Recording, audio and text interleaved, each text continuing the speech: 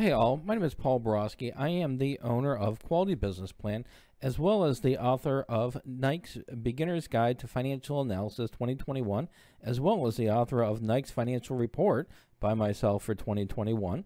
And so what I'd like to do today in this video is to give you all some tips and tricks on analyzing Nike's 2021 financial statements as well as their financial ratios. So the way the video is going to work is I'm going to go ahead and give you all a little bit of background about me, who I am, what I do.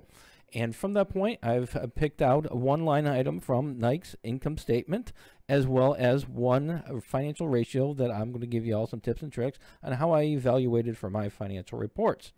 All right, so without further ado, let's go ahead and zip through this little handy dandy PowerPoint presentation I've got concocted for your listening pleasure, as well as viewing pleasure for that matter. All right, so first and foremost, I am a professional financial modeler. I, I do I love the right business plans um, for small businesses across the country as, as well as around the world. And for those small businesses, I'm always constructing financial models to help them with their financial projections. Um, so that experience has helped um, and you know comes into play when I write these types of financial reports. And I've for the last uh, um, last three or four years, I've been writing financial reports for the top 15 to 20 companies in the U.S. So a little bit of experience in analyzing public companies. Also, I am the author of Beginner's Guide to Understanding Financial Statements and Financial Ratios, which is published on Amazon. I, I do sell quite a bit of those books, so if you're interested in a foundation for income statements, balance sheets, and financial ratios, uh, check out the book. And then finally, I am an adjunct professor and subject matter expert for both business and finance. So I do have a little bit of education behind me. All right, so with that said, let's take a look at Nike. So for Nike in 2021, in their income statement, one of the line items that I found most interesting were their operating expenses. So in 2017, if we take a look at their operating expenses, they were at 11.2 billion. In 18, they're at 12.2, 19, 13.4, at 20, 13.8 billion, and then they come down a little bit at 13.7 billion. So this trend right here really doesn't tell us a whole heck of a lot unless we're going to be able to compare it to something. You know, it's going up, going up, going up for the last four years, and then for the last year, it, it does retreat a little bit. So what I've done in the financial report, I've actually compared this line item with sales. And so when we have that sales, we've got our first good trend, which is that in the last year, their operating expenses in 2020, their, their operating expenses was were 37% of sales.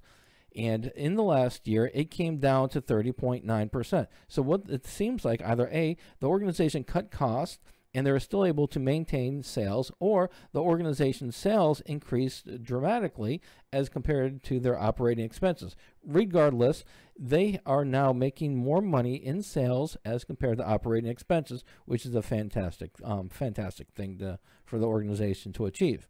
However, what is concerning, in the last four years, from 2017 to 2020, their operating expenses as compared to sales continually increased, which means that the organization A, they had to reduce their prices and they couldn't um, cut their costs, or the organization's costs continually to increase at a faster pace as compared to sales. So regardless of what what was the situation in their in in, in their um, competitive environment, the result was that the organization's operating expenses as compared to sales continually increase until 2020 um, until 2020, which is a four-year bad trend in my most humble of opinions. So what we can walk away from is either A, in from 2017 to 2020, either the organization was not able to increase their sales price or they had to reduce it because of the competitive environment, um, or their operating expenses are increasing at a faster pace as compared to sales, which means that they've got a twofold problem that they can't control costs and they can't raise the prices. Fortunately, we do have a start of a good trend in 2021 where they were able to reduce they, they were able to reduce their operating expenses dollar wise as well as reduce their operating expenses as compared to sales. So this could be a start of a beautiful trend for the organization. Um, we'll have to wait till future uh, financial statements come out in order to get a better insight into this one. All right, so the next tip is going to be in relations to financial ratios, uh, specifically the total asset turnover ratio. So total asset turnover ratio, what this tells us is how much the organization is generating in sales in using the, the totality of all of their assets. In 2017, the organization's turnover ratio was 1.48. In the next two years, the organization would generate more and more sales as compared to total assets under management, and in 2019 at 1.65. That's a pretty good trend for uh, for the last um, from you know in this three-year time span. However, in 2019 to 2020, their total assets jumped up about $7 billion. And when that happened, from that point in time, we now have a trend for the total asset turnover from 1.19 to 1.18. So it went from 1.65 to 1.19 to 1. Um, 1.18.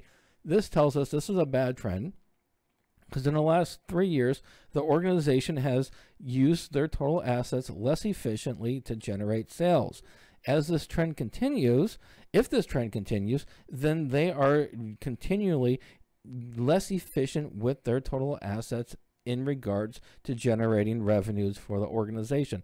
Not a great feat for a well uh, for a multinational company that is in their mature phase of their business cycle. Not very impressed in my mo again most humble of opinions. So good thing is that their assets under management is increasing. You know it is going up, up, and up and up um, for the last four years. So that, that is a good trend. However, um, the poor trend is that they are becoming less efficient. So that tells me that, you know, the more assets they, they have under management, the less efficient they're going to be. That is, again, not a good trend in my humble opinion. All right. So with that said, hopefully those um some those insights were helpful in your starting point to analyze Nike's financial report, uh, specifically for their financial statements and financial ratios. So if you'd like some more in-depth um examination of Nike's financial statements, uh, check out my website, qualitybusinessplan.com forward slash Nike Financial Report. And on this website, I do sell two different guides the Beginner's Guide to Nike Financial Analyst uh, 2021 um, that guide right there, I do not provide financial analysis to Nike's line items in the income statement balance sheet, nor do I give um, guidance for the financial ratios. I do provide that information, and I give you some general tips and tricks on how to begin your analysis. However, it's not specific to.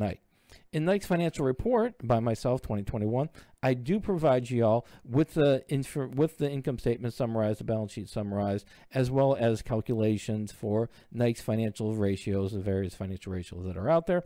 Um, five-year trends. I also do give you some insights and guidance as to you know some of the trends that I identified when I analyzed the organization.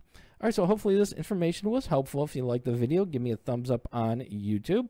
And as always, have a great day. Thank you.